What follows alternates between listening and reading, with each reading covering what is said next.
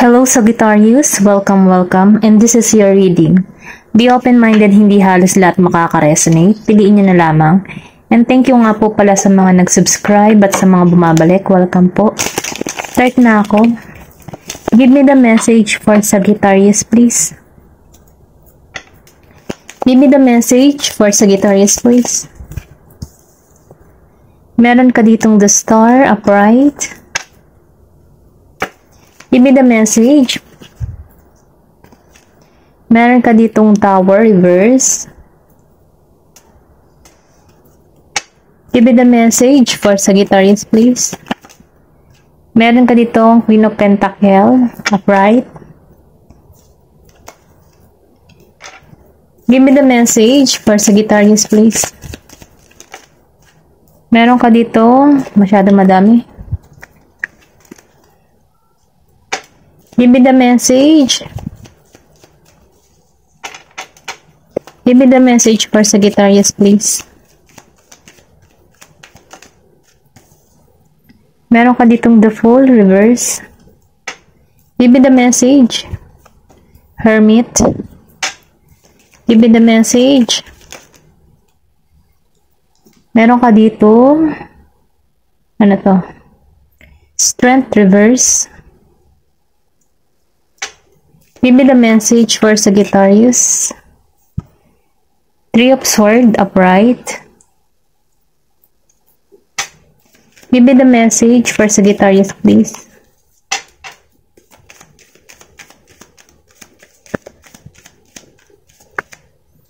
Meron ka ditong the sword. Seven of sword upright, okay? Start na tayo.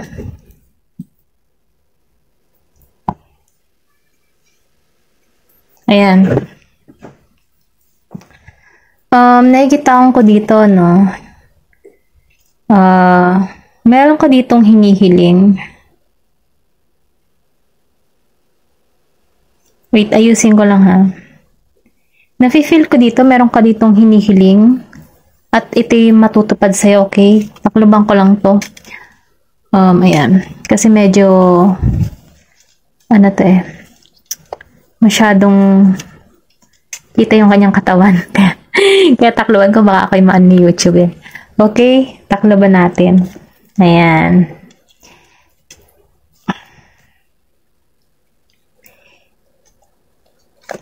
Okay. Nakikita ko dito no na merong kasaganahang naghihintay sa iyo. Meron ka ditong hinihiling um, na mangyayari at magaganap sa iyo no. Kung ano man yung mga hinihiling mo, uh, ma-attract mo to, okay? Sinasabi dito na huwag kang susuko no kung kung meron ka mga pinagdaraanan or mga problemang kinakaharap, wag mo wag kang susuko kasi meron din ako dito na uh, yung iba sa inyo hindi halos lahat nakakaranas dito ng uh, problema no. Um nakikita ko dito no na minsan naglalaro yung isip mo no merong gumugulo sa isipan mo. Hindi mo alam kung tama ba tong gagawin ko or tama ba tong uh, kung ba mananatili ba ako sa sitwasyon.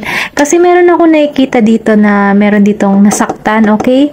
Kaya meron ditong nahihirapan magdesisyon kung ano ba yung kanyang hakbang na gagawin, okay? Ito lang yung nakikita ko. Kasi lumabas si The Tower, ano, yung tipong na-stuck ka sa sitwasyon, naghalong emotion yung nararamdaman dito, no? Merong ganon dito. At yung iba naman dito, merong kang hiling na matutupad. Ito lang yung nakikita ko. Then, nakikita ko rin dito, no, na ayusin ko na para isang buo na, para makita nyo. Ayan meron ditong pangyayari ano na inalisan mo, inalisan mo yung masasakit na nararanasan mo. Andun ka sa point ngayon na ano na nasa hermit mode ka na kung saan humahanap ka ng kasagutan within yourself. Um, binabalansi mo yung sitwasyon na meron ka. Okay? Ito lang yung nafe-feel ko dito. Um, nagkakaroon ka dito ng ano, uh, wala kang pinagsasabihan ng iyong problema, um, yung tipo bang kinakaya mo masolusyonan yung problema mo nag-iisa dahil ayaw mo na sabihin sa iyong family na kung saan ayaw mo magbigay ng problema din sa kanila dahil sa problema mo. Okay? Ito lang yung nafe-feel ko.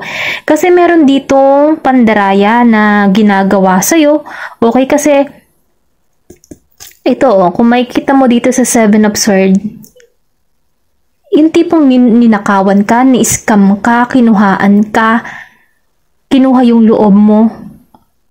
Ito lang yung nafe-feel ko dito. Kinuha yung loob mo. After makuha yung, yung kabaitan mo or something na napanatag ka sa tao nito, dito ka nito inutakan, dito ka nilinlang, dito ka dinaya, tinraidor, gano'n. Na nagbibigat sa iyo ng ano, ng pasakit, okay? Ito na yung nakikita ko. Kasi meron ditong tao na tumalikod sa'yo, um, iniwang kang wala, iniwang kang, alam mo yun, sinaktan ka, sinaktan ka ng patalikod. Ito lang yung nafe-feel ko, no, na nagpapahina sa iyong kalooban. Maraming gumugulo sa kaisipan mo dito na, bakit ganun? Bakit ko to nararanasan? Bakit ginanito ako ng tao nito? Yung mga ganun bang tanong, marami kang tanong na sumasagi sa isip mo na kung bakit ka bakit ka tinaraydor ng taong pinagkakatiwalaan mo. Ayun. Then nakikita ko rin dito, meron ditong inabando na um, binigyan ng silent treatment kahit ba yung tipo na ano, ibinigay mo naman yung attention mo sa tao nito pero patuloy ka pa rin sinasaktan, okay? Yung tipong wala namang naging mali sa'yo, pero bakit nare-receive mo yung ganitong pakiramdam? Ayun, ito lang yung nafe-feel ko dito, ano? Meron ka ditong person na, ano? Gemini, Aquarius, and Libra. Then, nakikitaan ko rin dito ng Leo. Meron din ditong Taurus. And Aries, Leo, Sagittarius. Meron din dito na Virgo, Capricorn, and Taurus. Okay? Ayun, yun lang nakikita ko dito.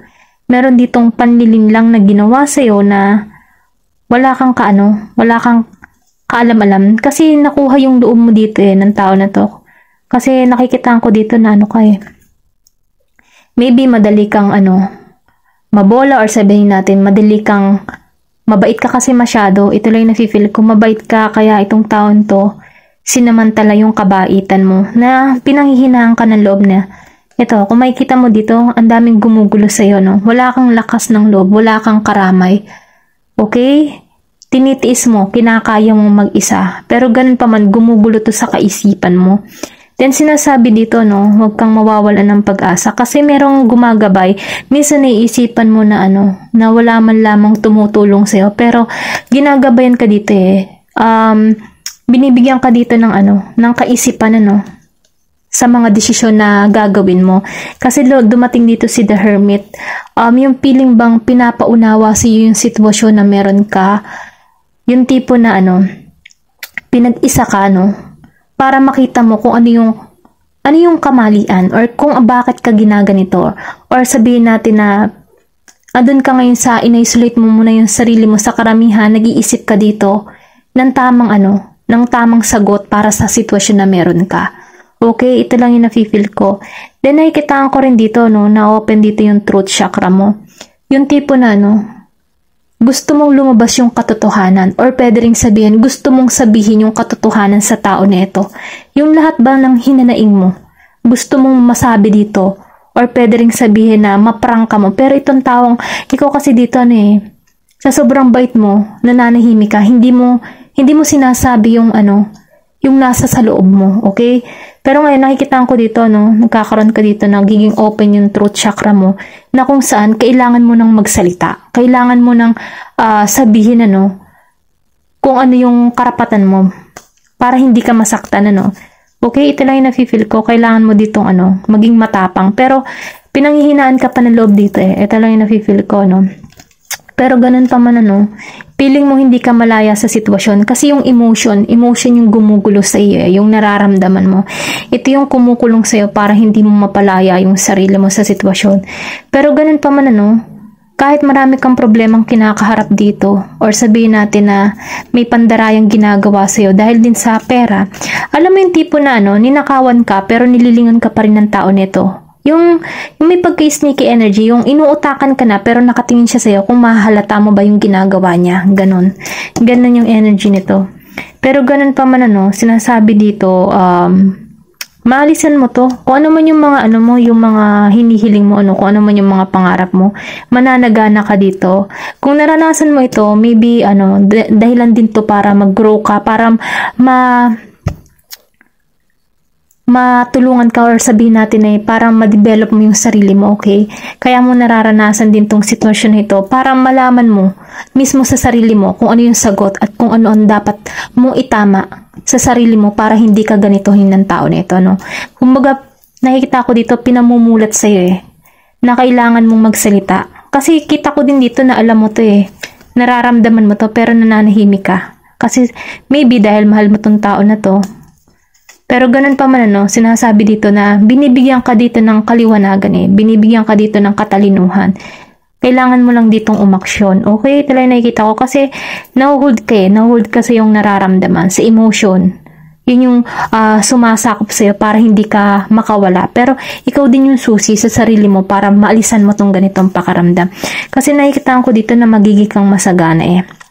May hatid na kasaganahan to para sa'yo, para sa yung sarili, no? Then nakikitaan ko rin dito na maalisan mo to, no? Kumbaga, kahit naka-stuck ka sa sitwasyon, matatanggalan mo to, no? Magtiwala ka lang. Dahil meron kang kahilingan ditong matutupad. May abundance na naghihintay sa'yo.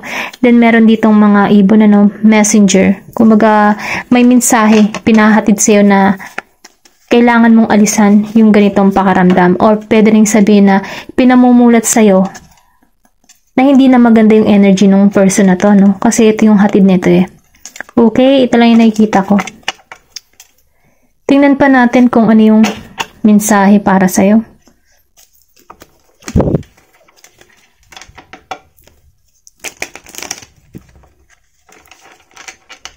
Hindi halos lahat makakaresonita. Piliin nyo na lamang kung saan kayong part dito, okay? Give me the message for Sagittarius. Meron ka ditong healing is happening. So, ibig sabihin nga, um, pwede kasing narana, na, naranasan mo to na sa past or pwedeng narito ka sa sitwasyon na to, no? Na nahihirapan ka. Pero andito ka na sa The Hermit mode, humahanap ka na ng ano, ng kasagutan sa iyong nararamdaman. Um, yung tipo ba nagkakaroon ka na dito ng kaliwanagan na napupunta ka na dito, no, sa healing. Uh, meron ditong tao na naghihiling, nag, nagsumusubok na ihil yung sitwasyon or pwede rin sabihin na uh, hinihilo mo yung sakit na naranasan mo. Kaya ito lang yung nakikita ko kasi nakikita ko rin dito na nagtitiwala ka na lang sa proseso.